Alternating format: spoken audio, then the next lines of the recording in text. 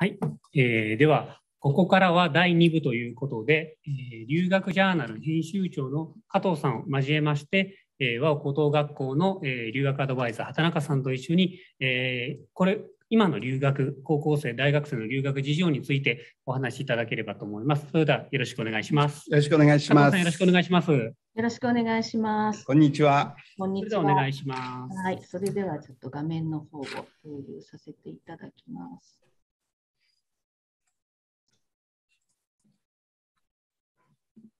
大丈夫ですかね。はい、見えております。はい。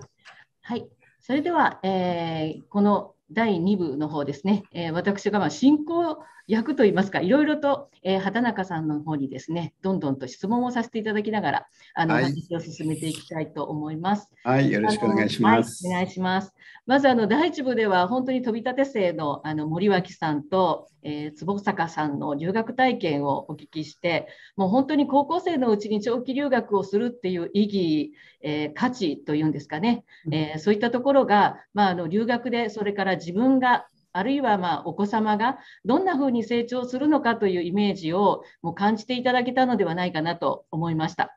まあ、正直あの私も今一部をお聞きしながらですね、えー、今日のために進行でいろいろと書いていた台本がどんどん変わっていきました。あそうですねこんなことは言わなくてももうしっかりと言ってくださったっていうようなね感じでした。でまあ、でもあの第2部ではですねこういうあの高校での留学、えー、高校生のうちにこそ留学したいさせたいっていう皆さんに、まあ、私にとっても、えー、大変新しい発見となりますこの和尾高校の第4の高校留学と呼んでいらっしゃる部分について、まあ、徹底的にお伺いしていきたいと思います。まあ、改めまして本日皆さんと一緒に和尾高校の留学プログラムダブル、えー、ディプロマプログラムと呼んでいいんですかね。こちらに、えー、ついて聞き出していきます。留学ジャーナルの加藤です。よろしくお願いします。よろしくお願いします。はい、そして、えー、疑問にはお答えいただくのが、えー、和尾高校の英語教育留学アドバイザーの畑中さん。はい、畑中です。よろしくお願いします。お願いします。はい。それではですね、あの本題に入る前にですね、えー、まずこう第1部に登場していただいたお二人を、まあ、飛び立て生っていうふうにご紹介をしていたと思うんですけれども、この飛び立てえー、飛び立て生というのは、まあ、飛び立て留学ジャパン日本代表プログラムというものの、えー、留学生に選ばれて留学した、まあ、高校生や大学生のえー、方々のことを呼ぶんですけれども、まあ、今日ご視聴いただいている皆さんはかなりこういう留学について情報を集めていらっしゃるのでこの飛び立てについてご存知の方も多いと思いますけれども改めて、えー、こちらの確認をですね、えー、簡単にしていきたいと思います。えっと、2013年に国を挙げて若者の留学を盛り上げようというこう留学促進キャンペーンというのが立ち上がったんですけれども、まあ、これが、え飛び立て留学ジャパンというプロジェクトです。で、これがあの文部科学省のウェブサイトに詳しく記載されていますので、またあのしっかりと皆さんも見ていただければと思うんですけれども、まあ、これ当時立ち上がった時っていうのは、なかなかこう日本のこう若者が外に出ないっていう時期であったかと思います。で一方では産業界の、えー、皆さんが、え、グローバルにどんどんとこう社会が変わっていってビジネスもどんどんと世界と対等にやっていかなければいけない中でなかなか一時期あのジャパンイズナンバーワンだったのがどんどんと他の国々にその地位を取られていくっていうかなのでもうこれではいけないでこういう人たちが、まあ、大学卒業してあの企業の中で、まあ、一からまっさらなところをさああの全員一緒に研修するっていうところから始めていてはあのとてもじゃないけど追いつかないということであのこのプロジェクトをぜひあの民間で、え、企業もバックアップしてぜひあの、えー、進めていこうと。でさっきあのちょうど話をしていただいた、えー、森脇さんですかねあのやっぱり奨学金がなかったらあの留学っていけなかったっていうようなお話をされてましたけれどもあの留学を考えた時に立ちはだかるあのな壁っていうのが語学とそれから、えお金っていうのが結構一番大きいと思うんですよね。でまあそのお金の部分を少しでも、えー、援助しようっていうところでこれ立ち上がってきました。でも実際にこれ本当にね立ち上がってきたんですけれども本当だったら2020年が最終の年だったんですよね。この年までに結果を出して終わりましょうっていうことだったんですが、まああのくしくもこの2020年が外に行けない留学に行けないコロナのもう影響でもうどうなることやらっていうような時代になりで今もなおまだそれが少し続いている状況ですけれども、まあ、そんな中であのやっぱり特に高校生の留学っていうのはまだまだ支援が必要だと。その支援っていうのはお金だけの話ではなくて留学に行こうっていう機運を作っていくっていうことですね。そういったところでやっぱり気づきを与えるところが必要だっていうことで、えー、この後まだ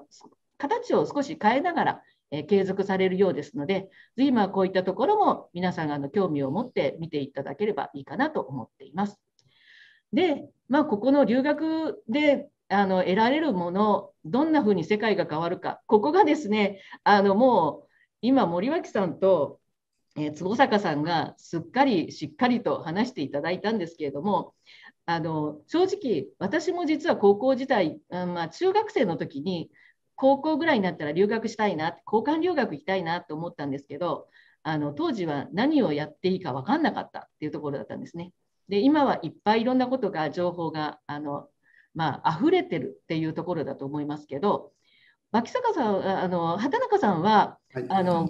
海外に住んで、でこういうこう留学にいらっしゃる方々をたくさんもう長年見てらっしゃってますよね。はい、はい、その中でこう留学生こう変わってきてる傾向っていうのを感じますか？それとも他の国の人たちと比べて日本の生徒さんもっともっと頑張るよっていうような ところとかどんなふうに感じていらっしゃいました？あの、まあ、大きいわけで今の質問で2つあるんですけども1つは、えー、来られる方のレベルですね、英語力、それから意識が高くなった。えー、昔はあの私なんかもう30年ぐらいこの仕事やってますので、えー、始めた頃は、えー、日本の学校ではどうもうまくいけなくて逃げるようにこれ海外に行くという方がまあ多かったというところがやはり自分から進んで、え海外を、え目指すと。え、日本でもやっていけるけれども海外で、え、自分の可能性を広げたいという方が増えてきたというのがまあ一つ。もう一つはあの、えー、自分が一体何をしたいのかわからないということで自分探しで来られた方が多かったんですけども最近はあのこれはスポーツ界がそうなんですけども、えー、自分のやりたいことは決まっていてその自分をこう作り上げるというか例えば野球選手だったら日本でプロ野球選手これ自体も選ばれた方なんですけども、えー、野球が好きでやってきてそこそこ食べれるようになったという中でもっと自分のレベルを上げたいとか、えー、自分を完成させたいということで海外を選ばれる方が増えてきたというこの2つがすごくあの最近感じています。そうですね、まあ、やっぱり選択肢が増えてきたのとその選択肢に向かってのこう道筋っていうのもいろいろな情報が入ってきてるからっていうのもあるんでしょうね。そうですねあの正直あの私も初めて、えー、っとオーストラリアの高校を視察に行かせていただいたのがそれこそ30年も前じゃなかったかもしれないいい勝負ですね。二十数年前だったような気がするんですけど、はい、当時はやっぱりあの私たちの会社でも高校留学の問い合わせがあって、でまあ、高校生もやっぱお手伝いしなきゃいけないなっていうふうになったんですけど、まあ、現場を見てこなきゃいけないということで見に行ったんですよね。で、初めてそこで会った高校生が、英語も全然できないけど来たっていうふうだったんですよ。でえ、でも英語全然できなくて、勉強どうなの？って言ったら、まあ、英語はなんとかホームステイの人たちと話してて、分かるようになってきた。で、勉強もですね、あの実は日本にいた時はすごい勉強嫌いで、あのなんか覚えることばっかりさせられて、全然面白くなかったけど、オーストラリアに来たら、なんかいろんなことを自分で調べたりとか、自分が言うことをあの必ずこう間違ってるっていうところからは別に入らないみたいなんですよね。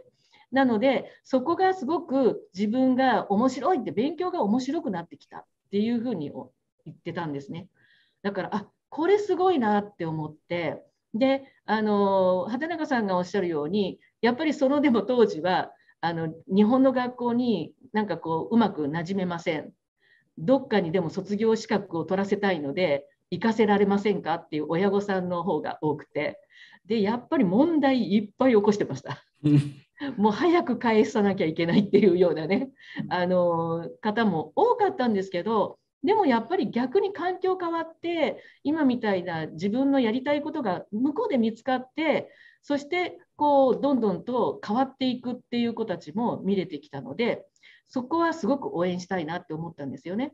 でさらに言うとこれをもっと前から知ってたらもっと高い向上心を持っていけるからさらには素晴らしい留学を経験していただけるななんて思っていて、うん、そこがだんだんこう畑中さんが現地でも見てて学生さん変わってきたなっていうふうに感じていただいたところなのかなっていうふうにも思いますね。はい、で、えーと、実際にこう今回もコロナでですねあのオンラインになって授業を受けていく人たちも多くて日本で普通の学校でやっててもオンラインなのであの結構そのオンラインの特徴っていうのもあの皆さん分かってきてるのかななんていうのがちょっとあります。で、えー、とちょっとこのスライドのところでは、まあ、この留学で得られる6つの機会なんていうのをあの文科省の方のねあのサイトの方で出してます。で先ほどあのもうお二人がお話をしていただいたことが全てあの出ていたんじゃないかなっていうふうに思いますけれどもどうでしたか？あの畑中さんもお話聞いていただいてて。いえあのさすが飛び立てで選ばれたあの方だなというもうすごく自分の子供にしたいような あのコメントでした。そうですね。はい。はい、で、まああのでもそれでも今度はその森脇さんなんかもあのこの飛び立てに行く前っていうのはなかなか自分では行けないっていうふうに思ってたりとかしてたんですけど今高校生の間に行ける留学っていうのは本当にいろんなチャンスがあるわけですよね。で、えー、まあ、ここで見ているこの留学で得たこと得られることっていうのは本当にまさにお話聞いていただいたのでそうそうこれ繰り返して読むことも必要ないかなと思いますので、えー、ちょっと次のページに行きたいと思うんですが。えっと、まずあのこれは私たち留学ジャーナルのあの中で、えー、ご紹介をしている留学のケースっていうのを、えー、表にしたものです。で、まあ、高校生の間に留学に行きたいっていうと、まあ、まず取っかかりとして短い短期間その短期間でじゃあ夏休みとかにちょっと語学の勉強してみようかとかででもそれも1人じゃちょっと怖いなっていう人にはグループで学校の研修だったり、それから私たちのような留学会社が、えー、引率して連れていくようなものがあって、まあ、そういった中も、そういうプログラムも、ただ語学を勉強するだけっていうものから、現地の学生さんと一緒に交流するようなプログラム、いろんなものが出来上がってきています。それから次にやっぱり代表的なのは長期的に行きたいっていうと、やっぱ交換留学ですよね。交換留学が、まあ、お金もあまりかからないっていうところで、え、安心、親としては安心っていうようなところがあるんじゃないかなと思います。で、えー、もう一つは、やっぱりこう自分から卒業を目的にしていこうっていうプログラムになってきます。でこれですと、まあ、私たちのあの中では、まあ、大体遅くても高校1年生が終わるまでには行くことが決まっていて2年生3年生2年間は行ってくださいねっていう話をしています。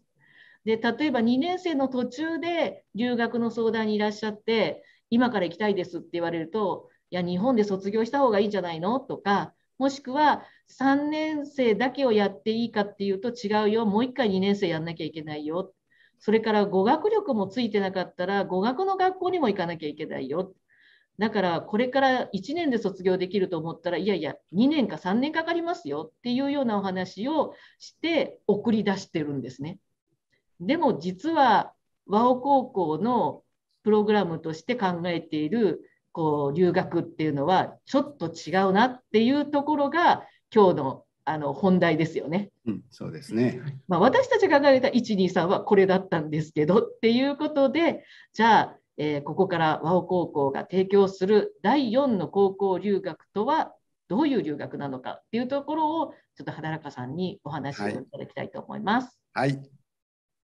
よろしいでしょうか？はい、お願いします。はい、あのまずあのまあ分かりやすくあのすべて3点ずつ説明をしていくんですけど、あのまあ和光の、えー、第4のこの留学って書いてますけども、えー、ダブルディプロマプログラムというのは3つのまあ特徴があるんですけども、その前に、えー、今日特に聞かれている中学生の皆さん、それから保護者の皆さんに、えー、前提条件としてね、えー、ちょっとお伝えしておきたいなということがあります。えー、それははですね、えー、実は私が、えー、この仕事で、えー、一番活発に、えー、動いていた時が、えー、今から三十数年前の28歳の頃なんですけども、ちょうど平成元年、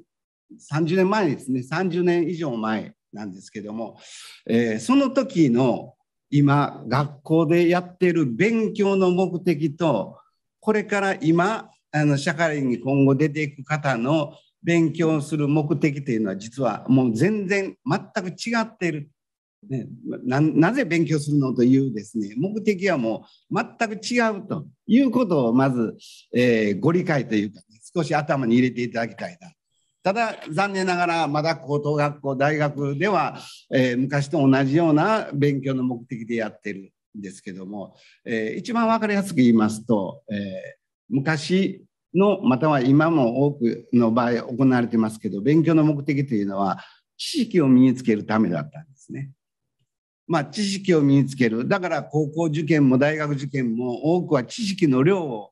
それを早く出すというその知識早く回答を出せるというのが、えー、重要視されているというのが今の入試制度の、まあえー、大部分を占めてると思うんですけども、えー、実はその知識を受けることに得ることによっていい高校いい大学そしていい企業というところに就職していたこれがまあ成功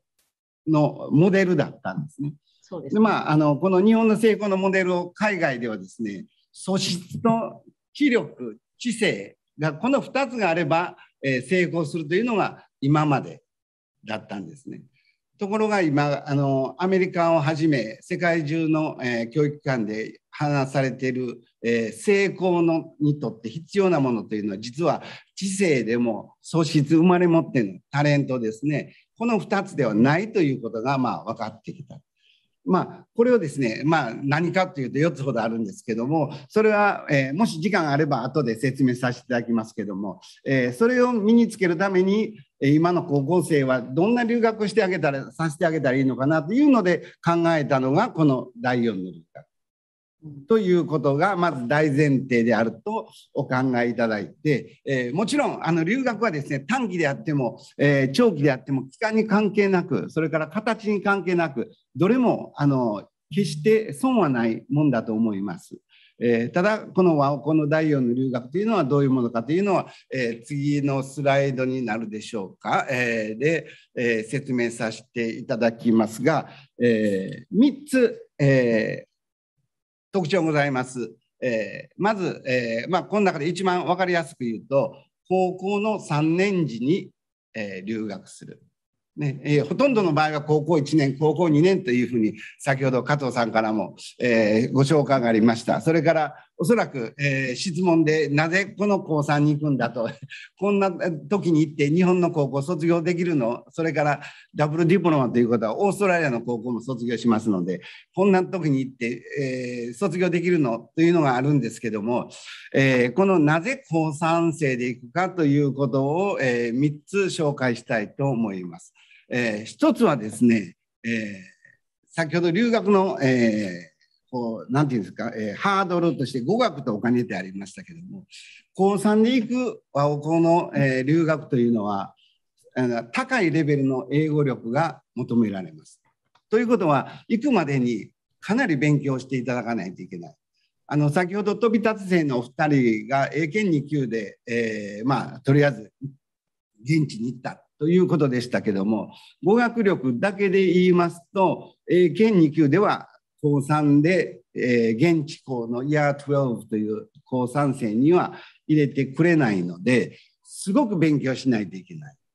それと、あのえー、英語だけじゃないですよ。あのやはり現地の高校では、オーストラリア人の、えー、オーストラリア高校ですね、オーストラリアをはじめ、えー、生徒たちは、えー、一般の科目も勉強しますので、和高生にとっても、えー、1年生、2年生の間、えー、英語以外の科目、どれだけ勉強したかと、どどれぐらいの達成度があったかという、あの、グレード、えー、グレードアベレージ、えー、グレードポイントアベレージですかね、えー、という GPA という、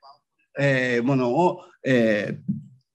獲得しますんで、それが最低、えー、スコアいっていないといけないという。まず学力面で英語とその、えー、他の科目をすごく勉強しないといけない。そのためのプログラムが実は、えー、ワンコーのあの一番の売りでもあるんですけども、高校1年生、2年生の間に、えー、徹底的に英語をトレーニングします。イメージで言いますと、先ほど、えー、森脇さんかな、あの、えー、現地帰ってきて、順位級が取れたと言ってましたけど、これはもうすごいことなんですけども、そこまでいかなくても、それに近いレベルで高校2年生を終えるという、えー、ところまで持っていくというのが、まず1番目の、え、ポイントになります。それから2つ目はですね、えーまあ、いろいろな日本の高等学校でも、えー、ダブルディプロマ、デュアルディプロマという言葉がありますけども、えー、オーストラリアの場合で言いますと、えー、エイターというんですね、ATAR、大学の、えーおえー、現地の大学を受験するためのスコアポイント、ランキングポイントを入手できるということになります。ですから、えー、オーストラリアの高校を卒業すると、ほとんどの長期留学生の場合は日本の大学を進学の先として考えられるんですけども、えー、和高生の場合はオーストラリアの国立大学はもちろんのこと日本の大学を含め選択肢が増えるというねえー、 Certificate of Education という、まあえー、教育修了証、卒業証書ですね。これをしっかりとしたものを、えー、州政府教育委員会が出して、それを、えー、それがナショナルスタンダードと言いまして、国レベルで、えー、認めてもらえるというものが取得できるというのがこの2点目です。ですから、あの、現地行くと、あの、科目も結構、え、理科系だったら、え、物理科学とか微分積分とかそういったものをやっぱり勉強しますのでもう英語が聞き取れないということではなかなか難しい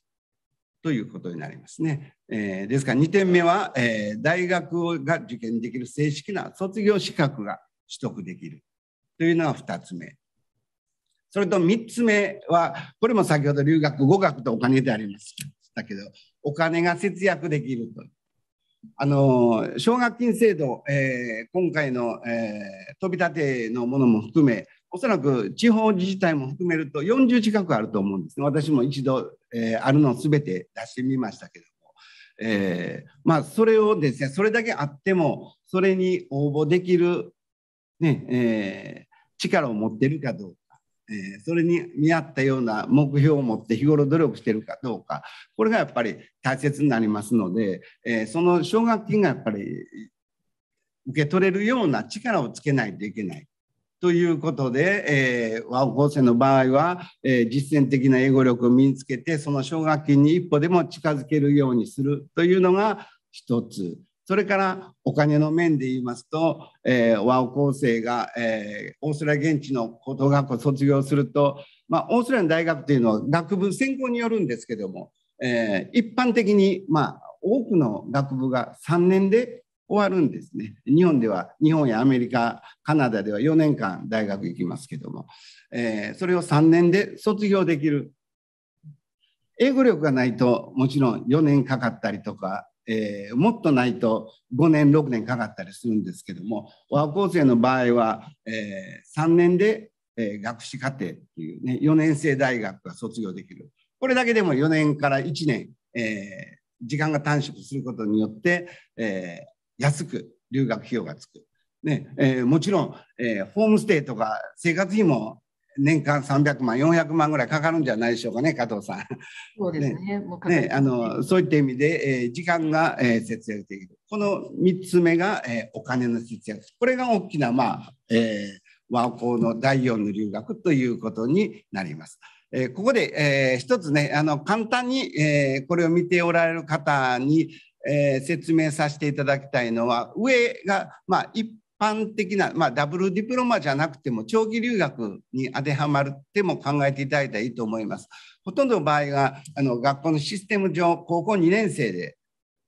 えー、留学1年間行きますね。それで帰ってきて日本の高校を高3で卒業する。であのその後例えばオーストラリアに、まあ、の大学に就職、えー、進学したいというケースのをここでは取り上げてますけども英語力がないとまあ簡単に言うとというかなかなか簡単に言えないんですけども、えー、例えば先ほどの、えー、坪坂さんぐらい順位級ぐらい、えー、取ってるとトエフルという、えー、試験でも70から80弱ぐらいまであるでしょうし IELTS も5.5から6.0ぐらいあるとこの FC という、えーえー、まあ日本の大学でいうと1年生に近いファウンデーション課程コースというね基礎教育課程に入るんですけど、ね、なかなか、えー、順位級って難しいですよ。今あの英検さんも、えー、最近ではあの統計データを出しておられないんですけど2013年ですから今から数年前ですけどで高校生で、えー、順位級取った方というのは300万人高校生いますけど2000人だけでした。そうですねあのだ普通順位級っていうと大学卒業までに、まあ、取っておく卒業レベルっていうような感じで。そうですよね。はい。ね、あのそれぐらいあってやっと基礎教育課程、まあ、あのアメリカン大学でも、まあえー、1年生に入れる。ね、それまでない、そこまで力いってない方の場合は、1年行ってもそんな簡単に、えー、本当に坪坂さんみたいに頑張れば、えー、行きますけども、なかなか行かない場合も多いんで、その場合でしたら、語学学校にえそのレベルに到達するまで、えー、まあ6ヶ月なり、えー、1年かわからないですけど、えーね、短い方はすぐ行くかもわからないですけど、え、時間を費やして、えー、基礎教育、えー、課程というファウンデーションコースに入って3年間過ごすというのが、まあ、一般的なえー、形なんですけども、まあ、ワオコの場合は、まあ、英語力の方は、えー、高校2年生で、えー、まず、えー、現地のイヤー12に入れるだけの、えー、力を、えー、つけます、えー。これは高ければ高いほどいいんですけども、最低基準としてあの現地校それから現地の教育委員会とも、えー、申し合わせができているところで言いますと、えー、トエフル IBT の60を最低取っている。英検2級で言うと英検2級 A って言って、英検2級のちょっと、えー、レベルが上の方で合格した方。まあ、この2つを、えー、最低限取ってから現地に行って、それで、あの、現地で、えー、また、えー、まあ、英語を勉強するんじゃないんですけども、えー、一般的な教科を勉強しながら、えー、英語力を身につけるというのが、まあ、和尾校の、和尾校の3年生であって、現地オーストラリア校の3年生を同時に、この1年間で過ごすということですので、かなり内容は多くなっています。はい。ですから、まあ、えー、時間とお金が節約できるというのが、えー、私も親ですので、それがすごく、あの、えー、留学といえば気になって、あの、いいのは分かってるんで、あの、少しでもやっぱり、えー、それが節約するためにということも含めて、えー、これが、えー、おすすめの一つになるんじゃないかなと思っています。ちょっとここまでで随分情報量がいっぱいあるので、でね、あの加藤さんの方からあのご質問をしていただいたり、はい、ポイントをちょっとついていただければと思います。はいそうですねあの今ここで見ていただいている本当にこのまさに上のまず一般的なっていうところは日本のあの留学でねあの行ったりとかする日本の一般的な、えー、高校に行ってる方ですよね。で、えー、ファウンデーションは絶対に英語力がある方でも必ず必要なのであのどんなに英語力があってもまず1年は卒業してから余分に取らなきゃいけない。で、えー、まあ1年間の留学、交換留学で本当にしっかりやってた、先ほどの繰り返しですけど、坪坂さんのようにやってた方だと、大体語学学校はまあなしにできるかなっていうぐらいにはなるかなと思いますが、まあ、それでも大体高校3年間、そして大学がオーストラリアは3年と言いながら、まあ、4年間は必要ですよと。まあでも、このぐらいだったら、普通に日本の大学に行くこと考えれば、まあ、同じような感じかなって思います。でただでもやっぱり私もすごくやっぱり気になるところがあの語学力は分かるんです。あの英語の勉強をとにかくやらせてでここまで到達させてこのイヤー12に入る。あの英検でいうとやっぱり準1級以上っていうふうに確か言われてたと思うのであのそのレベルまで到達する高校生も中にはいると思えばあのこの高3を始めるのは、イヤー12始めるのは可能かもしれないですけど、イヤー12入る前までに、それだけのその12の科目が受けられる、えー、事前の履修実績っていうんですかね、成績、そういったのが必要なんですけど、それはどんなふうに勉強されていくんですか、2年間でぎゅっと勉強するっていうそうですね、あの実際に、えーまあ、和王校に入学する時点で、えー、こういったダブルディプロマ、または海外、えー、にでの、えー、なんていうんですか、進学を考えている方というのはですね、えー、高校1年生の、えー、後期、10月から始まるんですけども、和校はあの2学期制になっておりますので、えー、後期の時点から、えー、具体的なプログラムが始まるんですけども、この時点でやはりあの最低限の英語力というのは決めてるんです。え、これが、えー、準2級。これはもう英検だけで区切っております。準2級またはそれに相当する英語力。これが私はあの今、えー、2000先ほど言いました13年の準2級の合格者が10万人ちょっといたんですけども、まあ日本の高校卒業生の今のまあ、うまいちょっとあの優しく言ってあげても今の高校生のレベルかなというあの卒業生のレベルかなと思うんですけどもこのレベルを、えー、高校1年生の、えー、秋までに後期始まるまでにまず、えー、取っていただくというのがまず大前提になります。そこから、えー、約40週間なんですけど1年間、えー、1年生の秋からえー、2年生の夏終了まで40週間で、えー、トレーニングを行うんですけどもこの辺があの実は和光の、えー、通信制たる、えー、利点なんですけども、えー、実際に今準備こう、えー、準備のコースで勉強している子どもたちを生徒さんたち見ててもそうですけども大体1日、え、3時間ぐらい英語のトレーニングが行います。まず時間で申し上げますね。1日3時間ぐらいを週、え、6日間を40週間ですので、720時間ぐらい英語のトレーニングを行う。でまあ、この英語のトレーニング、今日は英語の、えー、トレーニングの説明の日ではないんですけども、えー、結構あの口に出してあの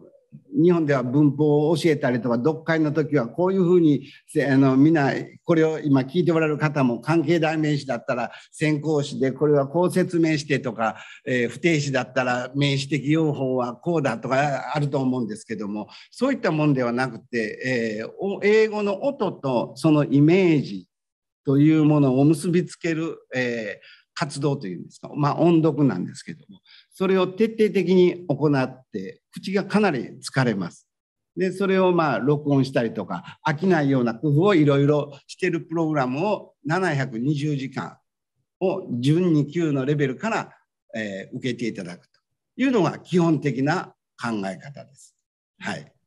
教科の方はどうですか？どういう感じになるんですか？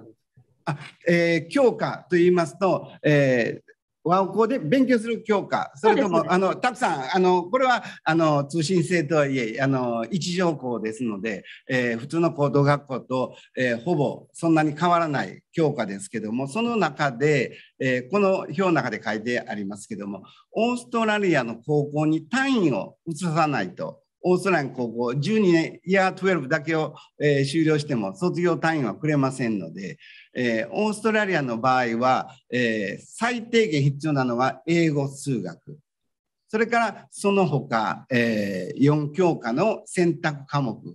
この、え、GPA を先ほど申し上げましたけども、スコアを、え、提出をすることになっておりますので、その科目を、え、受けないといけない。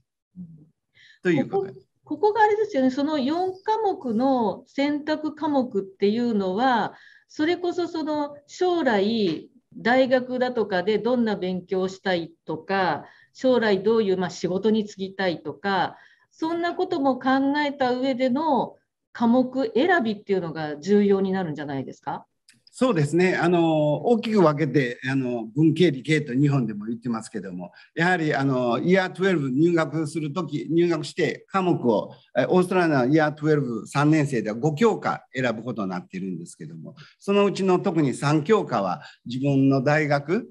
で何をやりたいかということは逆に言うと先ほど、話に少しありましたファウンデーションコースという基礎教育課程でも勉強するようなものを選ぶことになるとなりますね、それは。はい。あのこの間ちょっと、あごめんなさい。あどうぞどうぞ。実際留学、オーストラリアに留学されている高校生の日本人の方にインタビューさせていただいたんですが、その方もやっぱりもう、えっと、高校3年生、イヤー12に進学されていて、あのかなり専門的な、その方理理系に進みたいということだったので、えー、もう専門的な学習をやっていると。で、科目もすごく少なくて、やっぱりその時点、イヤー12に上がる時点で、自分が何を学びたいのか、もう大学の1年生のつもりで皆さん言ってらっしゃるので、もう、えー、とその後大学の3年間で何を学ぶかの前提があった上で、えー、科目を選択されているというようなことを聞きました。なので、日本の高3とは随分イメージが違う。で、ここで言うと、えー、上の上段のところで言うと、あの、ワオ高校ダブルディプロマと言っている以上、日本の高校の卒業に必要な単位というのが国が決められているものがあるので、それを、えっと、高1、高2と3、高3で取らなきゃいけない。ただ、高3の分はオーストラリアで取った部分を、えっと、日本の高校の単位として認めるということなんですね。一方で、下の方、オーストラリアの高校のイヤー12に入るには、えっと、12、えっと、まあ、これで言うと10と11ですかね、10と11、イヤー10と11で取らなきゃいけない単位数に必要な科目を日本で取っとかなきゃいけない。ここら辺はあのすごく細かい話になりますし、学校によっても少しずつ違うんですが、あの実際に個別相談、留学相談に来ていただけましたら、あの細かい説明はさせていただきます。ただ、じゃあその数学とかがものすごいレベルが高くなきゃいけないかというと、それはあの留学する先の学校にもよるとは思うんですね、多少は。ただ、えっとまあ、いわゆる通信制高校、オンラインでやる通信制高校で受ける授業の範囲でできることをやるというような感じだと思います。そうですね。わかりました。あの、さっき確か、えっ、ー、と、坪坂さんがお話しされてたのかな？あの森脇さんだったかな？やっぱりあの現地の学校っていうのは、あの自分がこうなんか日本の高校だと座っていれば教室で待っていれば先生がどんどん変わってきてくれて時間割もしっかりと決まってるけれども現地のオーストラリアの高校とかっていうとあの自分がこうやって学びたいこと学ばなければいけないことを自分でカリキュラムを組んでそれで動いていくわけですよね。でおそらく私の想像をするところではこの部分をもう本当に高校1年生の段階からあの通信制の中で、えー、しっかりと高校の方で和尾高校の方でサポートされていくんだなと思うんですけれどもそうなってくると学生さんっていうのは何て言うんでしょう。あのやりたいことっていうのがどのぐらいこう決まっていてほしいっていうとか何かありますか？なんかなんとなく行きたいとかっていうのだとどうなんですか？あのもちろん早く決まってるに越したことはないと思うんですけど、まあ、我々大人も、えー、やりたいことでどんどんどんどん変わってきたりとかあの仕事してる中でも変わってくるぐらいですので、えー、まあ早いに越したことはないですけども、えー、必ずしもあそしたら今、え何をしたいか専攻したいか決、ま、分かってないということで、えー、このダブルマダブルディプロマコース1年生の10月から始まる、えー、プログラムに受けれないかというとそれは違います。あのいろいろとあのカリア、えー、キャリアコンサルタントとか、えー、留学のアドバイザー以外にも、えー、いろいろと将来の目標作りを、えー、カウンセリングするプロがおりますんでそんな中で、えー、生徒の皆さん一人一人のやっぱり時間というのはあると思いますのでその中で決めていけばいいというふうに思っております。なんか本当にでもやりたいことをやるっていうところがすごくあの強みというのかあの先ほど畑中さんがあのだんだんこう生徒さんが変わってきてるっていうところで本当にこう自分がどうなりたいかとか何をやりたいかっていうことを考えてる方々が本当増えてきましたよねっておっしゃってましたけどそういう考えがもう今中学生の間に本当にまたあるんだったらまさにこういう勉強の仕方をしていった方がなんかこう日本の大学受験どこどこ大学に入ることがゴールっていうのとはもう大きく違う部分ですね。そうですね。はい、ありがとうございます。で、えっ、ー、と、ちょっとバックしていきたいんですけど、先ほどそのお金とを考えた上で、その大学を卒業するためにっていうところで、えー、そこまでの年月っていうことを考えたら、かなり節約できるんじゃないかっていうのがあったと思うんですけど、私もう一つ、あのやっぱりあると思っていて、あの先ほど、えー、森脇さんが、あの奨学金がやっぱり得られなかったら自分は本当に行けなかったかなとかあのなかなかこうそれどう考えてもやっぱ親のことを考えたらあのそんなに誰もが行けるわけじゃないしっていう話をされてたんですけどここでこの3年間でしっかりと語学力をつけてそしてまあオーストラリアの高校を卒業してくる、まああのえー、先ほどのグローバルな視点を持って日本を外から見てこれからどんなことをしなくちゃいけないのかしたいのかっていうことがより明確になっている学生さんっていうのはこれから今度大学を選ぶっていう上でもこう自分が選ぶっていうよりは大学に自分を選ばせるっていうかなんかそんな人間になっていくのかなって思うんですよね。そうするとあのアメリカのそれこそトップスクールなんかちょうどあの昨日ですねたまたまメディアの方から質問のお電話をいただいてあのハーバードに入られた学生さんの親御さんにお話を聞いた時に年収によって授業料が変わるって聞いたんですけどそれ本当ですか？っていうご質問があったんですよ。であまさにそうですよ。5つぐらいアメリカの大学そういうところがあるんであの成績しっかりあったりとか、まあ、合格しちゃしちゃえばあのお金のことなので考えなくても入れるんですよっていう話をさせていただいて。だから高校時代にある程度こういう留学でお金が使っを使ったとしても今度大学でものすごく高くなっている授業料を結構大きな奨学金を得て留学するってことも可能ですよね。そうですねあの今回はあの、まあ、便宜上といっておかしいですけどオーストラリアの高校でてオーストラリアの大学という形を紹介してますけどこれは別にあの英語圏だったら、えー、アメリカでもカナダでも、えー、大丈夫ですし、まあ、あのイギリスの場合はあのトイフルをあの、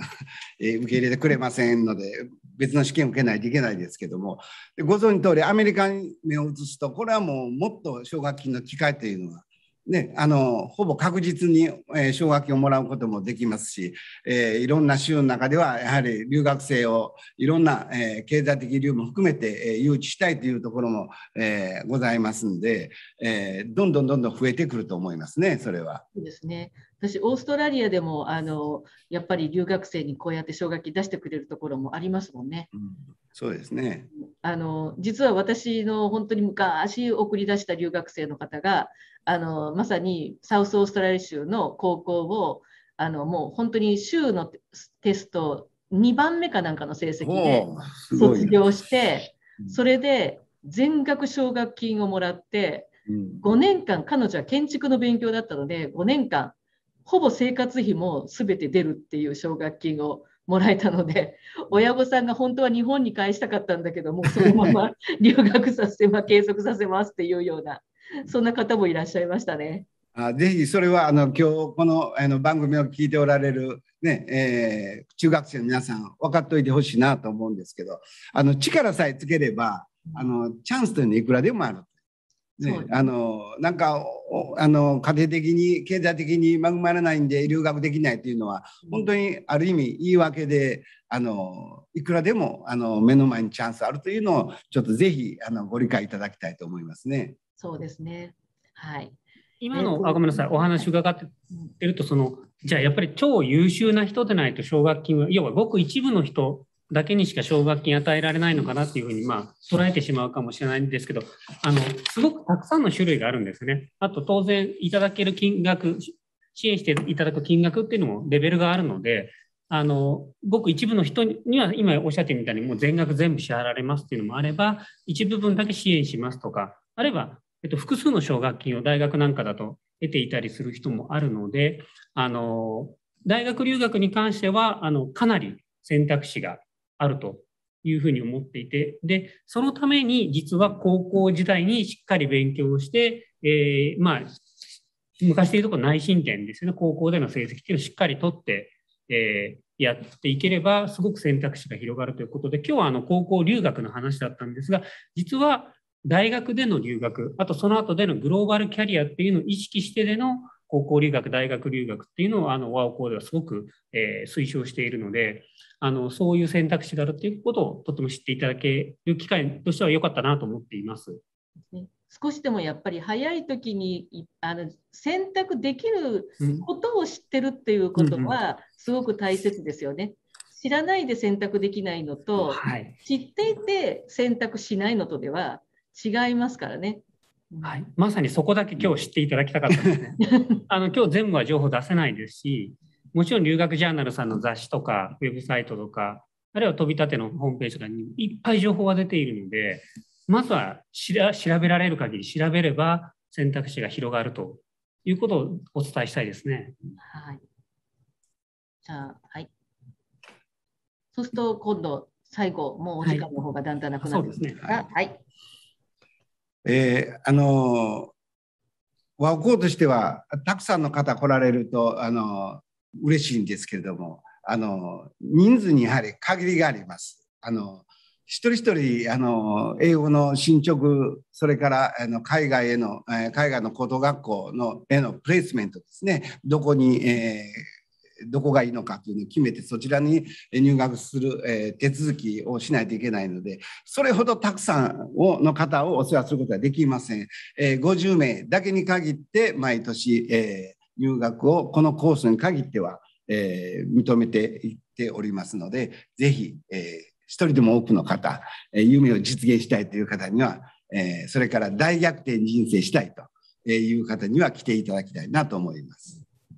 やっぱりあの親御さんが勉強されていた時代でもっと言うと私たちなんかはあのもうおじいちゃんおばあちゃんの世代になっちゃうのかなと思うんですけどあのこの世代だとあまりこうイメージがどうしても通信とかオンラインだけとかっていう遠隔の授業っていうのはなんかイメージがつきづつけづらいっていうところがあると思うんですけどあの本当にこの1年半の間であの日本の学校に行っててもオンラインで授業を受けるとか Zoom でいろいろな勉強をするっていう機会も増えてきてでその中でやっぱり自分を自身がコントロール自分自身をマネジメントしてやれる人たちっていうのはどんどんこうこれから生き残っていくんだなっていうのをすごくこう身に染みて感じてるんですよね。なのであのぜひこういう機会であのどんな勉強をするんだろうそれからどんな学校なんだろうっていうことをあのもう何ですかあの疑いのところから始まってもいいのかなって、本当にそんなことできるのっていうようなところからなんか始まっていくとすごくあのいいお話がこう聞けるのかなというふうに思いました。でこれからこういう相談っていうのはあの随時学校の方でされていくっていうことでよろしいんですよね。はい。あのまあ、今日ご覧になっていただいてあの高校留学、まあ、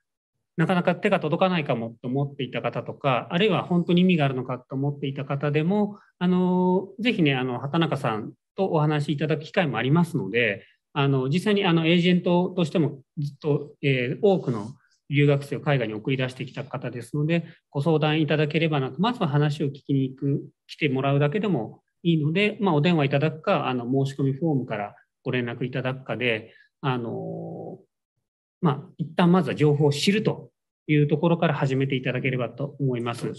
はい、あのできれば、まあ、夏休みになるとやっぱり人も増えてくるので、あの問い合わせもできるだけ早くちょっとお声がけいただければなというふうに思います。はい、ありがとうございます。本当にあの第一部であのお二人の飛び立て生のお話を聞きながら、うん、あの最初からこう最後まででどう変わっていったのかっていうのがすごくこうあの分かったお話でした。あの本当に先ほども初めにあのお話ししました通り私もこうメモをしていたら今日のあの自分の頭の中に描いていたストーリーがちょっとこうどんどんとずれていってさあ今日はどんな話で進めていけばいいんだろうっていうふうになってしまったほどもうあのお二人のお話の中に答えがいっぱい詰まっていたなっていうふうに思いました。であのコロナの中で、えー、ロックダウンを経験してで、えー、勉強の方も大変だって言いながらネガティブなところからポジティブな発想に変わったりとかっていった坪坂さん、うん、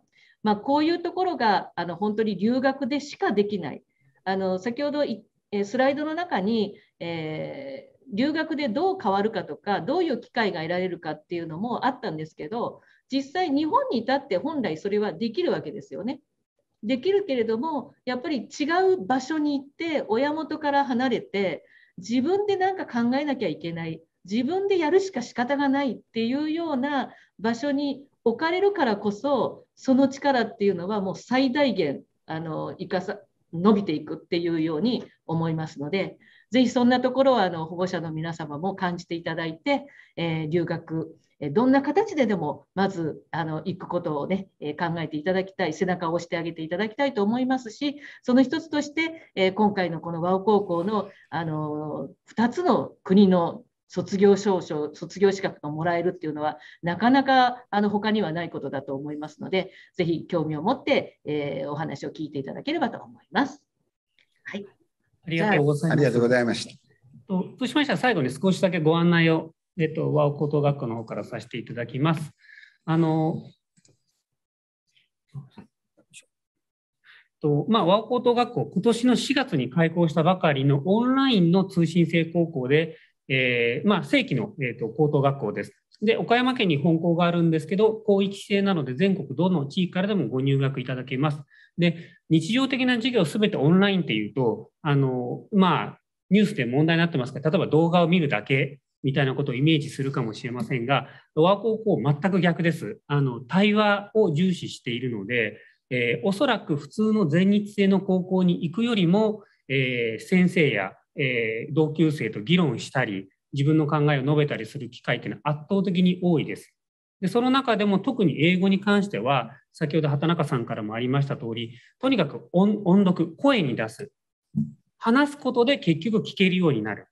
だから留学した先でも授業を聞けて自分の意見も言える。こうなることを目的に、えっと、高校1年生、2年生の間に徹底的に英語を学ぶコースがありますので、ぜひ、えっと、英語力をつけて、えー、留学をしたいという方は、あの、一度お話を聞きに来ていただければと思います。で、今日ですね、今、実はあの、この、えっと、裏側で、えっと、オープンスクールが開催されていまして、えっ、と、午後も、えっ、と、引き続き、えっ、と、和尾高等学校の、特にその、今言った対話型の学習というものがどういう感じなのか、おそらく皆さんが思い描いているオンラインの学校とは随分違うイメージなんじゃないかなということを体験いただけるオープンスクールというのをやっていますので、あの、まもなく午前の部が終わりますが、午後1時からまた、えっ、と、スタートしますので、えっ、と、詳しくは和光のホームページからリンク貼ってありますので、ぜひちょっとご参加いただければと思います。はい。えー、そうしましたら、あの、留学ジャーナルの加藤さん、今日はありがとうございました。ありがとうございました。はい、えー、では、えー、ご覧いただいている皆さんとは、えっ、ー、と、えー、ここでお別れしたいと思います。えー、今日はありがとうございました。ありがとうございました。失礼いたします。